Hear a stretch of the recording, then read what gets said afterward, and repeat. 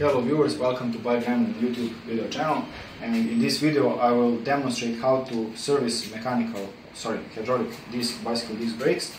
Uh, in this case it's uh, Shimano Deore and I will show the procedure of cleaning and bleeding the disc brakes. Now, first thing that we need to do is to remove brake pads because we don't want them to be contaminated and we need to insert bleed block in order to perform the bleeding process properly. And here it's got some safety pin that is do-it-yourself type some so that's Serbian improvisation wildly wildly known known. We will need to remove it. Okay it's out. We'll put uh, original. and better proper safety pin once it's all done. Now we need to push the pads out depending on the model particular they're either pushed from one side or another. In this case they have like small hooks here to catch onto so they need to be pushed out from this side. And I will try using this tool to push them out. So I have pushed them out enough to take a hold from this side and now I'll pull out the pads completely. Okay they're out. I will put them away so they don't get contaminated by any brake fluid. And when doing uh, brake bleeding you can expect the brake fluid to be spilled around so wheels because we don't want discs to be contaminated need to be removed. And also if you especially if you're using DOT fluid which is uh, usual with SRAM brakes it's good to use some paper towels to prevent the DOT fluid from uh, squirting over the, the bicycle frame because uh, DOT fluid uh, damages the paint. Mineral is not that problematic, but still we want to avoid pad contamination, so I will not be touching this with my hands braking surfaces. I will clean them with this brake cleaner before putting them back. These are not very much worn and I definitely would want to remove the wheels. So we put them aside for now. Safe distance. Okay. Now, before we start the bleeding process, pistons need to be pushed all the way back. Here that is the case. They are practically all the way back. Now, if you want to, if you have any problems with uh, the brakes fun functioning, in terms that uh, one pad is not uh, does not retract enough. In that case you need to clean brake pistons. In order to do that you need to pump the brake lever in order to push one piston out while you are holding the other piston preventing it from going out with a tool like this or something improvised or you can hold it pressed against this while this is mounted onto something solid so you have a free hand to pump the lever and then just push one of the pistons out for about 5 millimeters or so. Then use an old toothbrush with some brake fluid. If it is a DOT brake, then use DOT brake fluid. If it is a mineral brake fluid, then use that. And smear that on the toothbrush and try to clean all the way around so that cylinder, brake cylinder piston sides are cleaned. The, the side that faces outwards is not important for that function.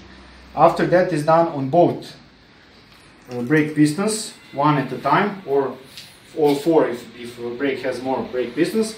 You need to use a tool like this to push them all the way back so that you can insert a bleeding block. In order to insert the bleeding block, these brake mounts sometimes get in the way, sometimes not. If they get in the way, you need to loosen the bolts that hold them so they can be pushed. Okay, and it's in.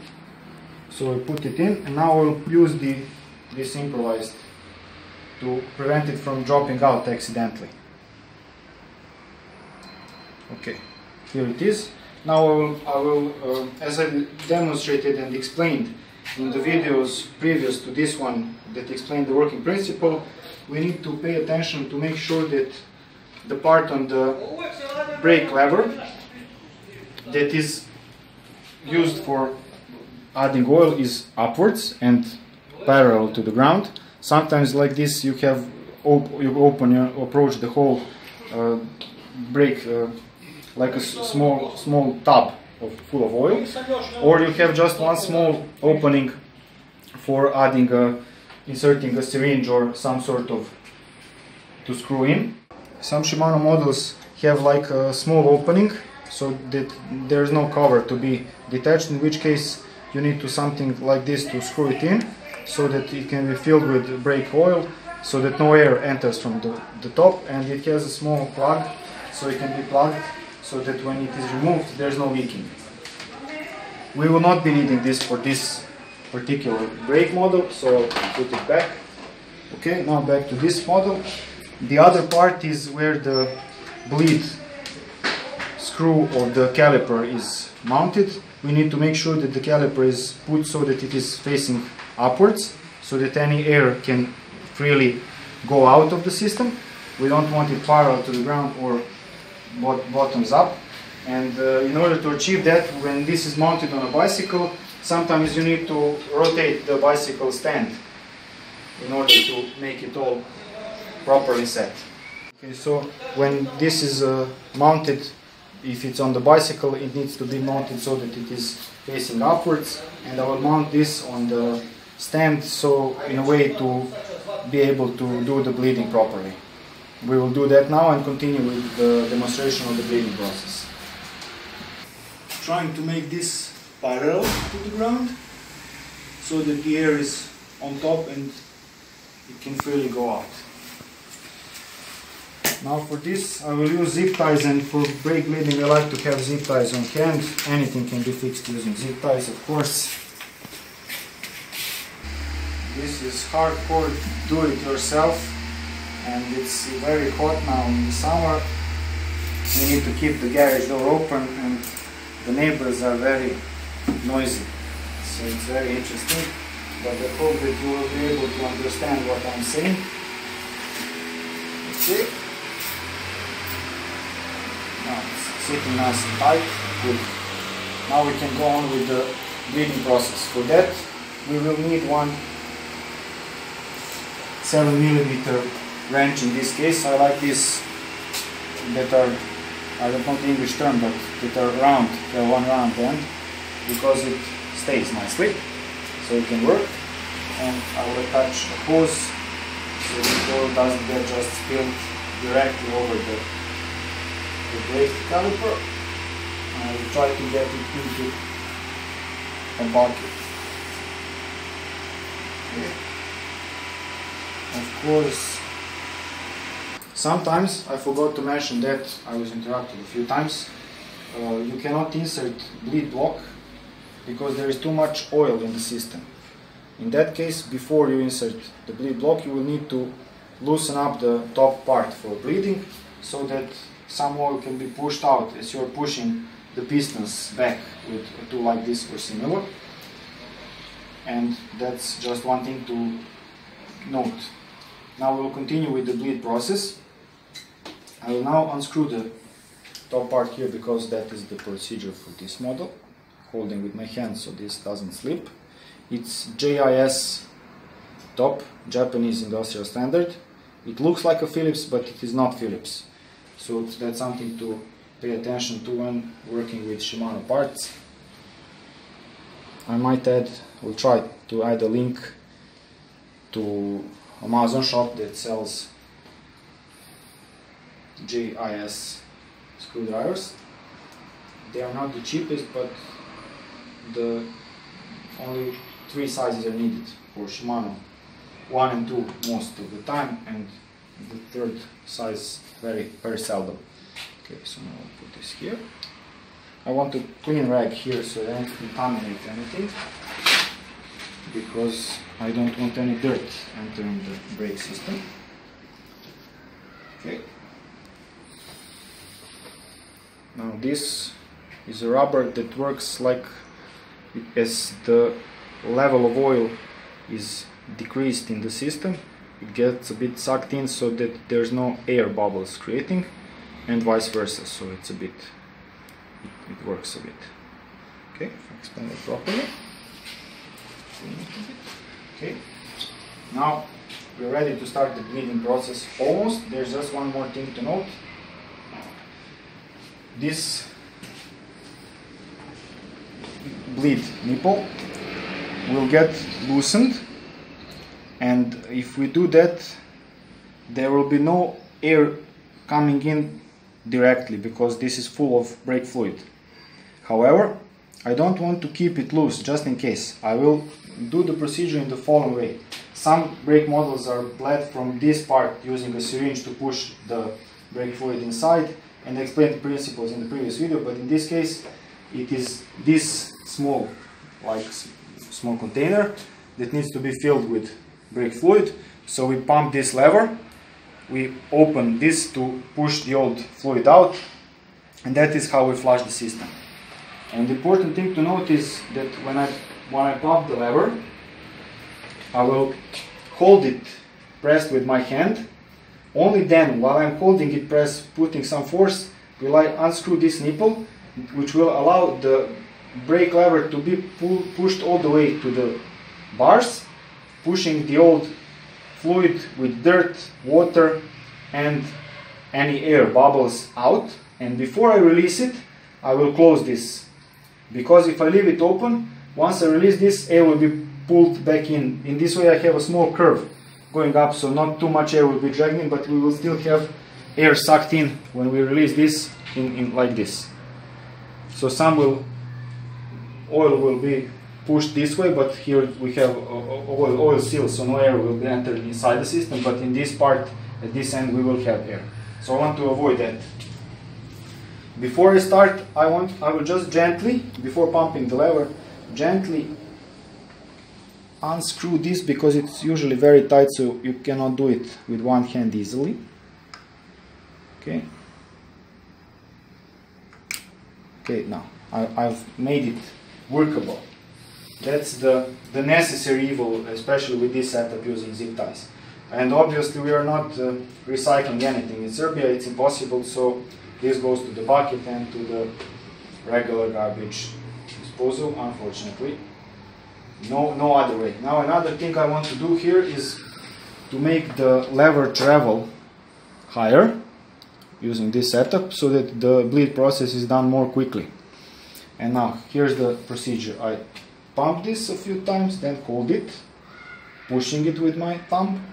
I will release this dirty and old fluid will come out. Then I will close it, only then releasing the lever. So here goes. Now I'm closing it. You see some bubbles and all dirty fluid and I release it and then I will do it again. Hop. Close before releasing the lever. This is important to keep in sync or you will have problems. Now another thing to note is to not let this be completely drained because air will be sucked in from this end and you will have to do the whole process of bleeding in order to remove bubbles, air bubbles again. The dirt will not be a problem in this later phase because you will already have clean fluid inside but you will again have to waste fluid and use uh, more time in order to remove the air. So we will be sure to keep checking this and topping it up and we will definitely have some spillage so it's good to cover any sensitive parts of bicycle or frame to prevent that from getting okay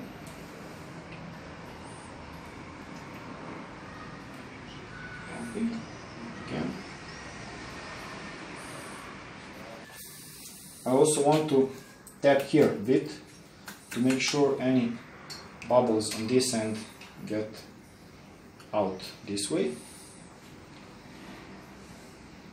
And I also want to now move this lever a bit closer which pushes the piston a bit outwards allowing more oil to enter the system and preferably loosening any leftover air bubbles now again still no air coming out and the fluid that coming out looks very clean. Okay, I will tap this a bit to make sure any, any bubbles come out. I will now again move this the other way around to make the procedure a bit quicker with fewer openings and closes. Okay, I think this is good now, almost. I'm minding the level here and checking if there's any bubbles coming out of this way or, or this end. Now it's almost completely over. I'll top it up once more. I will again move this piston, this final bleeding I do it with the piston all the way out so that there's maximum amount of oil or black fluid in the system and any air gets flushed out. Okay, I'll just do one more just to be on the safe side, it's all good. I'm getting a few air bubbles coming out still, so redo this procedure until there's no air bubbles coming out. But I'll also check whether this is having a good solid connection so that the bubbles are coming from the brake system, not from the outside. Okay, now we got clean fluid, no bubbles, good. That means we're done. I can now tighten this to the final torque, good. I will now top this up. The caliper is extracted all the way out. That's important. Good. Master brake piston or whatever it is called in English properly closing this. Now we need to close this part. Putting back the seal, I can expect more brake fluid to be pushed out and either put a rag beneath or be ready to clean it. I'm, I did not put it down with my hands all the way. I want this properly aligned and then I will screw it in. I managed not to lose any screws, which is surprising. Okay, putting one screw in place, making sure it's threaded properly, then another.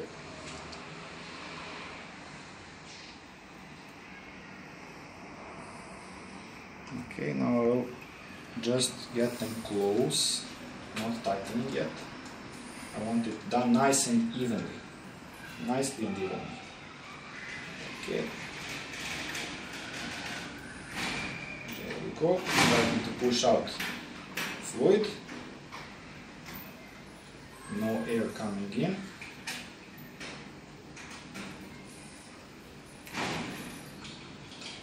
Okay, now holding to place so that the tube doesn't slip.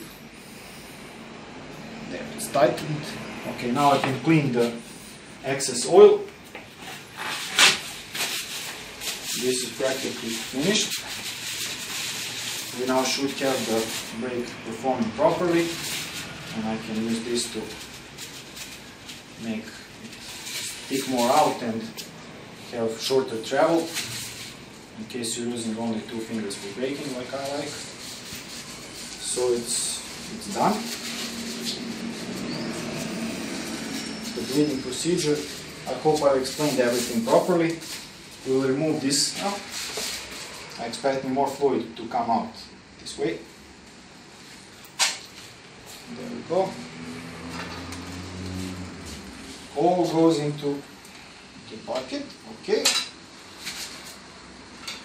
Removing the tool.